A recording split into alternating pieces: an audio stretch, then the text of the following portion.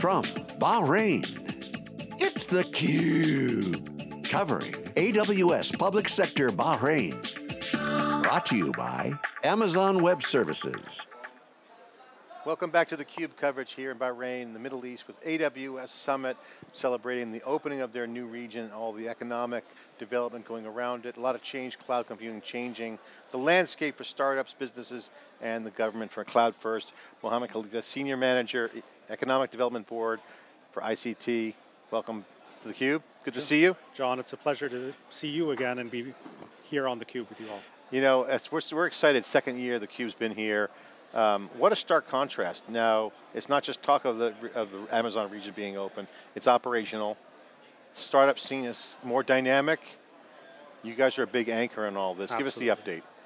So, in the last year, the startup scene in Bahrain has grown by about 100% of where it previously was. Part of that's driven by the fact that uh, Amazon is here, and the region is changing as a whole. You have Microsoft and Google and other companies all realizing the potential in this region. That's driven by the fact that there's a 40% year-on-year growth in cloud businesses uh, and uh, uptake of those businesses as well. So the talent pool as a result is increasing in scope and people are popping out of these companies and government ministries and are energized to now start their own businesses. Uh, aside to that, what you've started to see in Bahrain and in the region as a whole is a firm interest in governments uh, in introducing regulations that are meaningful to these companies. Now, the way the governments work in these regions, especially in a country as small as Bahrain, is that we're able to legislate very fast onshore, and we're able to do that with a very close ear to the ground on what businesses need and what they're requesting. Uh, so it almost functions as a corporation and an enterprise that wants to do best for its subsidiary corporations. And you guys want to take care of the citizens as well. You guys listen to the societal impacts, the demographics, a lot of young people. Absolutely. So the, the news around a cloud computing degree, bachelor's degree, four years or one year, that's going to help. Yeah. The yeah. entrepreneurial equation, you guys have been really the stewards of that. Mm -hmm. How's that going? Is there any plans to have entrepreneurship being more formally taught in the universities? How are you guys think about the entrepreneurship equation? So there are definitely thousands of people right now going through uh, cloud training courses because we see that as being the future. Uh, we ourselves as a government offer to make all of that training free.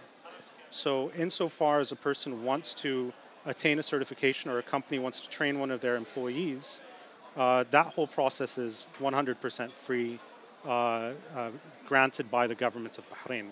The reason why we do that is because the human capital in the country is seen as our single greatest asset, more so than anything else. We're not a heavy oil economy. Oil only is 17.5% of GDP.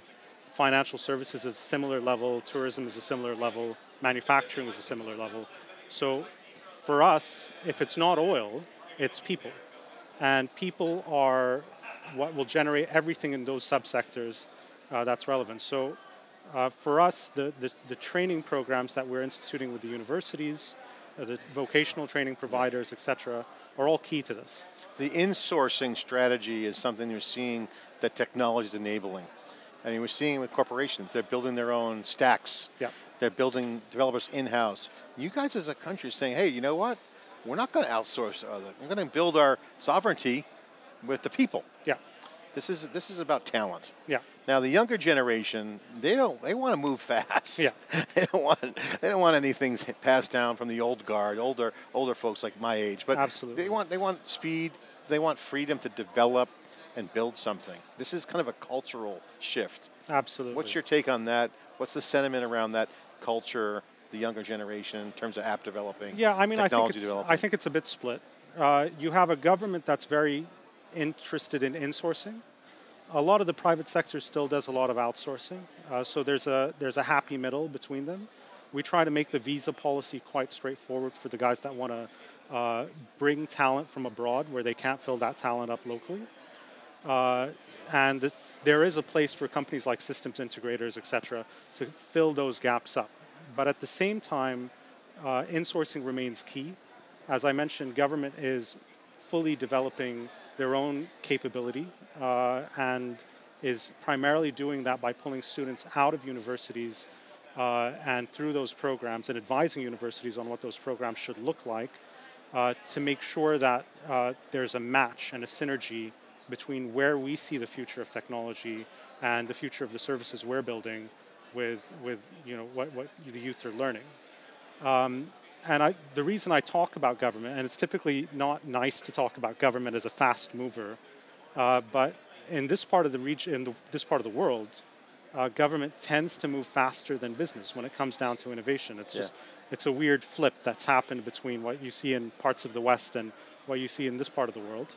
Uh, so so what the changes that we make on the government side mm-hmm. end up being flags that indicate to the private sector some of the changes they're going to start seeing. So, that's the regulate fast piece. yeah, So moving fast, set the pace for business, but not meddle in the startups world. Absolutely. We, we had a good chat with the central bank. Yeah. Same thing. They did some quick things. They got a sandbox. They do quick certifications. So I got to ask you the next question: startups, nurturing them, attracting them, getting people excited by them. Any new plans? You guys have any new programs? Yeah. So right now we've made the cloud crediting for businesses that are setting up in Bahrain up to a certain cap, 100% free for them to use uh, cloud credits on any cloud hosting provider basing operations in Bahrain. Uh, so the reason we do that is because we think we already have a series of incentives that already pay up to 50% of their capex and opex.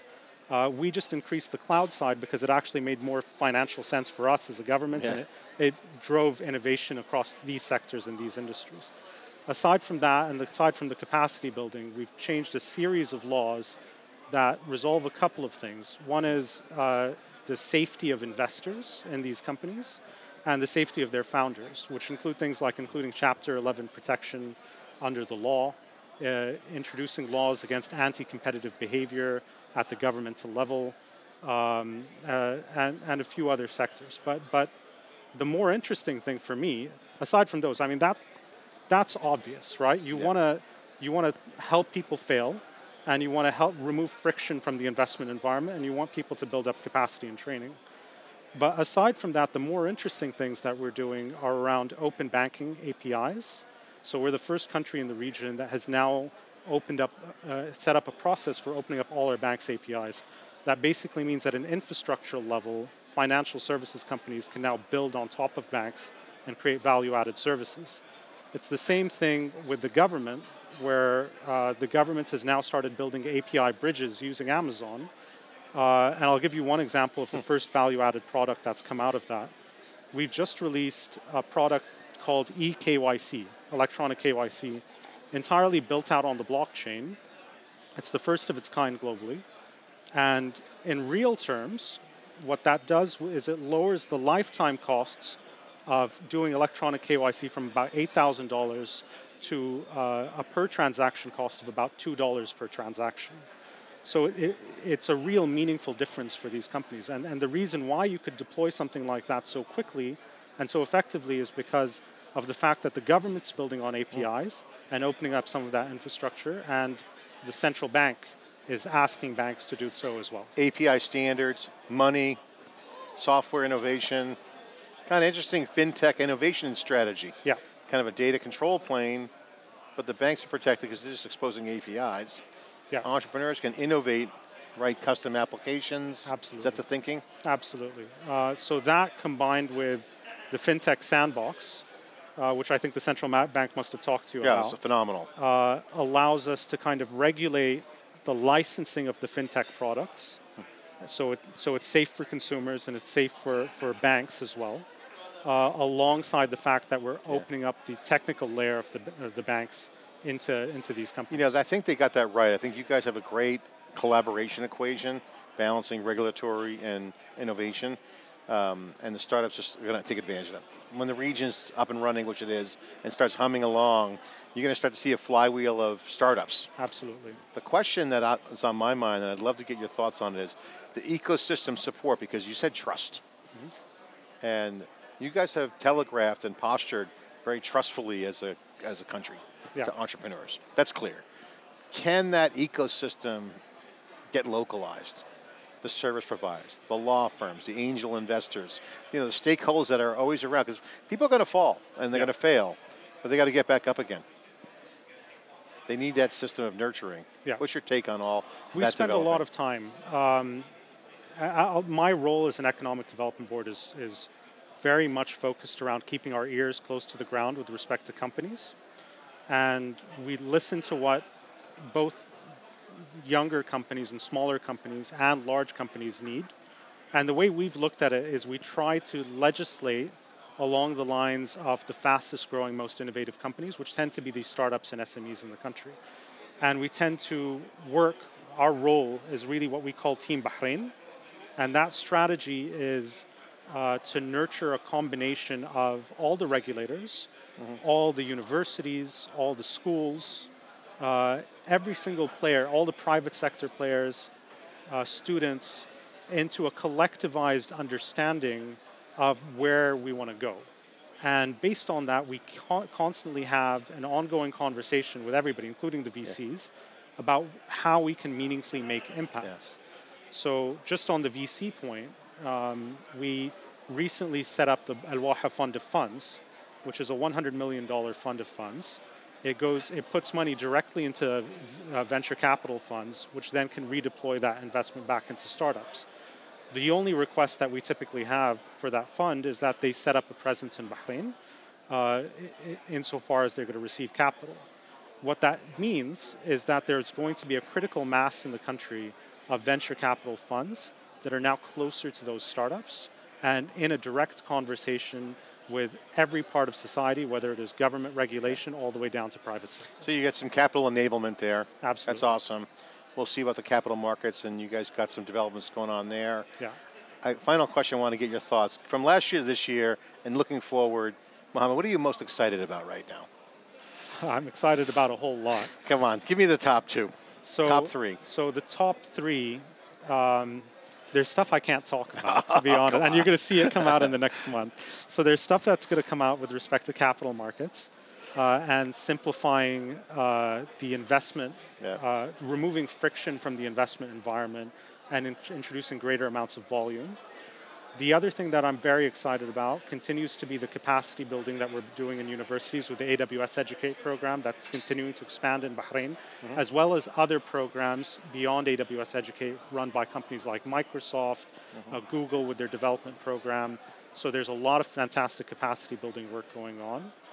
Um, and then I would also say it's uh, back to what I was saying earlier. It's, it's, it's just excited to see what companies are going to start building as we're opening up the infrastructure. We're working very closely with them and the regulators to make sure that as they build on top, they're not stopped by regulation, that the regulation constantly understands what they're trying to achieve. I like what you talk about. You get your ear to the ground. You're listening to what's going on in the marketplace. It's going to be. I think a lot of. I think a lot of software surprises are going to come. Absolutely. You're going to start to see some. You know, what look like weird ideas turn into the best thing. Who would have thought that Airbnb would be successful? Yeah. Their original business plan was putting cots on the ground and selling cereal. Now they've changed the hotel industry. We're looking forward to seeing you guys do a great job. We appreciate you supporting the Cube to come here. That's Thank awesome. and we me. hope to have the Cube in Bahrain next year as the team covering you guys and documenting what's going on. We look for, forward to continue to work with the team. Thank you very much. It's the Cube coverage at AWS Summit Bahrain. I'm John Furrier. Thanks for watching. Be back with more coverage after this short break.